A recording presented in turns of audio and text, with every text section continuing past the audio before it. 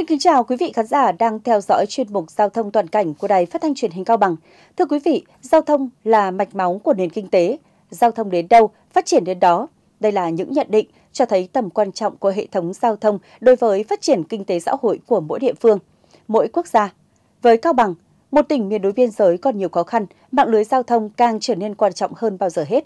Xuất phát từ yêu cầu đó, nhiều dự án giao thông trọng điểm của tỉnh đang được nhanh chóng triển khai nhằm chuyển hóa nhanh nhất các tiềm năng thành nguồn lực kinh tế, tạo động lực để tỉnh Cao Bằng phát triển nhanh và bền vững. Dự án đầu tư xây dựng tuyến cao tốc Đồng Đăng Lạng Sơn Trà Lĩnh Cao Bằng là dự án có ý nghĩa chiến lược quan trọng hàng đầu, vừa mang tính chất cấp bách trước mắt là khai phá, khơi thông điểm nghẽn, nút thắt về kết cấu hạ tầng giao thông của tỉnh, vừa có ý nghĩa chiến lược lâu dài, giúp mở rộng không gian phát triển còn nhiều tiềm năng, tạo điều kiện động lực cho việc phát triển kinh tế xã hội và bảo đảm quốc phòng an ninh trên địa bàn. Với những nỗ lực không ngừng nghỉ, cùng nhiều cách làm chủ động, đổi mới, sáng tạo, quyết tâm, quyết liệt, kiên trì bám nắm, cầu thị trong suốt quá trình triển khai. Đến nay, dự án đã đạt được những dấu mốc quan trọng, từ thành công của chiến dịch cao điểm 100 ngày đêm hoàn thành công tác giải phóng mặt bằng, đến nay tỉnh Cao Bằng đã bàn giao 41,26 km mặt bằng cho doanh nghiệp dự án, đạt 99,7% chiều dài tuyến qua địa phận tỉnh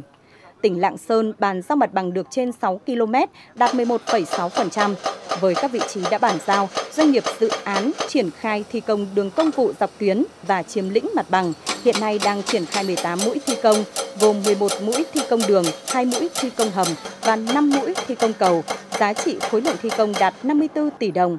công tác giả phá bom mìn vật liệu nổ, di chuyển đường điện, chuyển mục đích sử dụng rừng, mỏ vật liệu, bãi đổ thải được thực hiện đồng bộ. Theo đó đã có 12 mỏ đất đắp, 3 mỏ cát, 13 vị trí bãi đổ thải phục vụ thi công dự án được cấp có thẩm quyền chấp thuận. Song song với việc đẩy nhanh tiến độ thi công, công tác bố trí tái định cư, đền bù, chi trả bồi thường và các chính sách đặc thù cho nhân dân vùng dự án cũng đang được tích cực triển khai. Lãnh đạo Tập đoàn Đèo Cả đánh giá công tác giải phóng mặt bằng dự án trên địa bàn tỉnh Cao Bằng được thực hiện khá tốt. Bà con nhân dân nơi dự án đi qua đã bàn giao mặt bằng cho đơn vị thi công ngay cả khi chưa nhận được tiền đền bù. Tuy nhiên, một vấn đề khó mà doanh nghiệp đang gặp phải là việc xác định vị trí các bãi đổ thải và thủ tục về cấp phép mỏ đất san lấp. Hiện doanh nghiệp và các cơ quan chức năng của tỉnh đang nhanh chóng tháo gỡ các vướng mắc này. Ngoài khó khăn này, tiến độ các công việc khác đang được đảm bảo theo kế hoạch. À, đối với à, địa bàn tỉnh Cao Bằng thì cũng rất thuận lợi vì à, cơ bản công tác mặt bằng đã được bàn giao. Thì trên cơ sở đó, đó cái tiến độ tổng thể mà ừ, chủ đầu tư, à, nhà đầu tư đã phê duyệt thì chúng tôi sẽ yêu cầu toàn bộ các cái mũi thi công được theo kế hoạch sẽ phải triển khai tiếp cận công trường để thực hiện ngay công tác thi công đại trà và dự kiến đâu đó khoảng tháng 8 đến tháng 9 thì chúng ta có thể thấy là các mũi thi công đại trà trên toàn bộ địa phận tỉnh Cao Bằng đều được thực hiện. Còn riêng đối với tỉnh Lạng Sơn thì hiện nay chúng tôi cũng đang được bàn giao từng phần thì chúng tôi sẽ à, thực hiện là ừ, bàn giao phân đoạn nào thì nhà đầu tư sẽ tiếp cận phân đoạn đó để thực hiện các cái công tác triển khai thi công. Song song đó chúng tôi sẽ tiếp tục phối hợp với Ủy ban tỉnh Cao Bằng, Ban quản lý dự án à, đầu tư xây dựng tỉnh Cao Bằng, à, giao thông tỉnh Cao Bằng để tiếp tục à, làm việc với các cái địa phương của tỉnh Lạng Sơn thúc đẩy tiến độ giải phóng bằng à, đáp ứng tiến độ yêu cầu dự án. Dự án cao tốc Đồng Đăng Trà Lĩnh được đầu tư xây dựng khi hoàn thành sẽ mở ra cơ hội đột phá khác biệt để Cao Bằng phát triển nhanh và bền vững, củng cố quốc phòng an ninh, mở rộng hợp tác quốc tế đối ngoại, kết nối với các trung tâm kinh tế, văn hóa xã hội lớn của cả nước và các tỉnh trong khu vực, thiết lập tuyến vận tải đường bộ quốc tế giữa Việt Nam và Trung Quốc. Đây là tuyến đường có ý nghĩa chiến lược quan trọng hàng đầu, vừa mang tính cấp bách trước mắt vừa có ý nghĩa chiến lược lâu dài đối với việc phát triển kinh tế xã hội và bảo đảm quốc phòng an ninh trên địa bàn tỉnh Cao Bằng, từng bước tiếp cận đến mặt bằng chung của cả nước, đồng thời có ý nghĩa quan trọng trong việc tăng cường quốc phòng an ninh khu vực biên giới phía Bắc. Bên cạnh dự án cao tốc, một trong những dự án giao thông khác cũng đặc biệt quan trọng, đó là dự án đường tỉnh 208 kết nối 4 huyện trong tỉnh, gồm Thạch An, Quảng Hòa, Hạ Lang và Trung Khánh dự án đường tỉnh 208 có tổng mức đầu tư 1,470 tỷ đồng do Ban Quản lý Dự án Đầu tư xây dựng các công trình giao thông tỉnh làm chủ đầu tư. Giai đoạn 1 của dự án đã xây dựng và hoàn thành trong năm 2020. Giai đoạn 2 công trình có tổng chiều dài 33,56 km, điểm đầu tuyến từ km 47 678 thuộc địa phận xã Cô Ngân, điểm cuối tuyến km 86 37 tại nút giao với đường tỉnh 206 thuộc địa phận xã Chí Viễn, huyện Trùng Khánh. Dự án được khởi công xây dựng từ ngày cuối năm 2022. Sau khi hoàn thiện thủ tục chuyển đổi mục đích sử dụng rừng, hiện nay mặt bằng cơ bản được bàn giao các đơn vị nhà thầu thi công tập trung huy động tối đa máy móc liên tục hoạt động hết công suất, bố trí tăng ca, tăng kíp, đưa cát, đá vật tư vào trong công trình. Đối với các hạng mục cầu đã hoàn thành 3 cầu chung trên tuyến và thông xe kỹ thuật.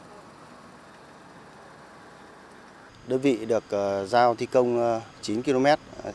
thuộc uh, gói thầu XL2 À, từ km 77 đến à, km 86 của à, giai đoạn 2.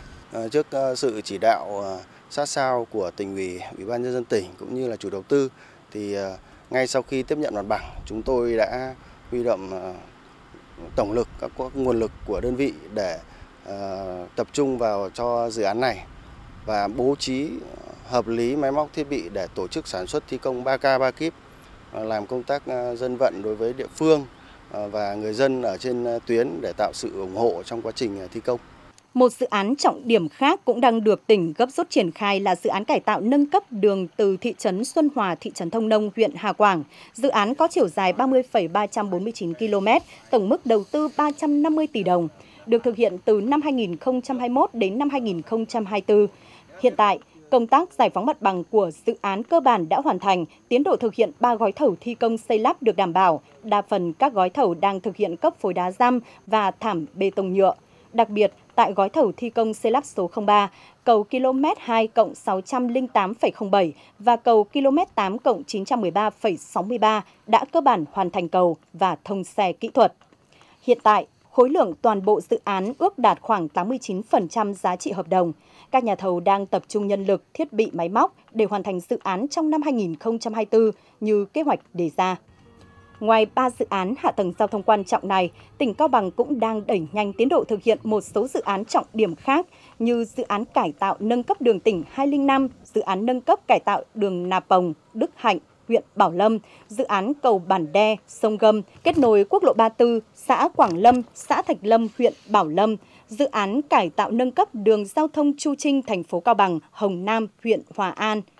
Đây đều là các dự án trọng điểm khi hoàn thành có ý nghĩa rất lớn trong việc thúc đẩy phát triển kinh tế xã hội của tỉnh Cao Bằng. Theo thống kê, giai đoạn năm 2021-2025, toàn tỉnh triển khai 20 dự án đầu tư xây dựng hạ tầng giao thông, gồm một dự án đầu tư xây dựng tuyến cao tốc Đồng Đăng Lạng Sơn Trà Lĩnh Cao Bằng và 19 dự án đầu tư nâng cấp các tuyến đường phục vụ phát triển kinh tế xã hội địa phương. Đối với 19 dự án đầu tư nâng cấp các tuyến đường giao thông có 10 dự án đang triển khai thi công, 4 dự án đã được phê duyệt dự án, đang triển khai bước thiết kế bản vẽ thi công, một dự án đang giải phóng mặt bằng, chuẩn bị thi công, ba dự án đang thực hiện thủ tục chuẩn bị đầu tư, một dự án chưa lập đề xuất chủ trương đầu tư, Ngoài ra, tỉnh cũng đang triển khai thực hiện đề án phát triển giao thông nông thôn để đồng bộ với ba chương trình mục tiêu quốc gia trên địa bàn tỉnh giai đoạn năm 2021-2025. Đến nay, tỷ lệ chiều dài các tuyến đường huyện, đường xã được nhựa hóa, bê tông hóa mặt đường thực hiện là 82,5%, đạt 97,1% so với mục tiêu chương trình đề ra. Tỷ lệ xã có đường đến trung tâm xã được nhựa hóa, bê tông hóa là 98,8%, 159 trên 161 xã đạt 98,8% so với chương trình mục tiêu đã đề ra. Vâng, thực hiện cái chức năng quản lý nhà nước ờ, để tham mưu cho Ủy ban nhân tỉnh à, công tác phát triển giao thông nông thôn trên địa bàn tỉnh à, đặc biệt là đối với các chương trình mục tiêu quốc gia à, thực hiện trên địa bàn tỉnh Cao Bằng giai đoạn 2021-2025 thì Sở Giao thông Vận tải theo cái nhiệm vụ được giao thì đã xây dựng cái kế hoạch đi kiểm tra công tác này tại tất cả các huyện, thành phố. À, theo kế hoạch thì chúng tôi triển khai sẽ kiểm tra từ tháng 5 đến tháng 9 thì kết thúc. À, đến thời điểm này thì à, chúng tôi đã kiểm tra được à, 4 huyện và với mục đích của cái công tác kiểm tra này là kiểm tra tại hiện trường để nhằm phát hiện ra những cái sai sót nhỏ về à, kỹ thuật thi công cũng như là à, các cái vấn đề sau khi công trình Vâng, hoàn thành các cái hạng mục mà thì có cái khiếm khuyết gì thì chúng tôi cũng kịp thời chỉ ra. Thứ hai là chúng tôi cũng à, kiểm tra hồ sơ ừ, nội nghiệp và quy trình đầu tư à, để đánh giá cái mức độ à, phù hợp ừ, và tuân thủ của các pháp luật quy định hiện hành đối với cái chương trình này. À, trên cơ sở đó thì chúng tôi cũng đưa ra cái ý kiến để kịp thời giúp đỡ cho các chủ đầu tư để hoàn thiện bộ hồ sơ theo đúng quy định với mục tiêu chung là xây dựng hạ tầng giao thông đồng bộ, phù hợp, chất lượng ngày càng cao, đáp ứng nhu cầu vận tải của tỉnh cũng như vận tải quốc tế thông qua tỉnh. Thời gian tới, tỉnh tiếp tục triển khai thực hiện tuyến đường bộ cao tốc từ Đồng Đăng Lạng Sơn, Trà Lĩnh Cao Bằng, phân đấu đến hết năm 2025 hoàn thành giai đoạn 1 của cao tốc theo kế hoạch, cải tạo nâng cấp các tuyến đường ra cửa khẩu, điểm, khu du lịch theo phương án kết nối giao thông đã được phê duyệt. 85% chiều dài các tuyến đường huyện, đường xã được nhựa hóa, bê tông hóa mặt đường. 100% xã có đường đến trung tâm xã được nhựa hóa, bê tông hóa, tạo điều kiện phát triển nông thôn bền vững, thúc đẩy phát triển kinh tế xã hội, cải thiện và nâng cao đời sống vật chất tinh thần của nhân dân khu vực nông thôn. Có thể khẳng định, việc sớm hoàn thành và đưa các công trình giao thông trọng điểm trên địa bàn tỉnh Cao Bằng vào sử dụng sẽ tạo động lực thúc đẩy kinh tế xã hội của tỉnh phát triển, đẩy mạnh giải ngân vốn đầu tư công, bảo đảm quốc phòng an ninh và thực hiện thắng lợi mục tiêu chủ yếu nghị quyết Đại hội Đảng bộ tỉnh lần thứ 19, nhiệm kỳ 2020-2025 đề ra. Đến đây, chuyên mục Giao thông toàn cảnh tuần này của chúng tôi xin được khép lại. Cảm ơn quý vị và các bạn đã quan tâm theo dõi. Xin kính chào và hẹn gặp lại quý vị vào thứ năm tuần sau.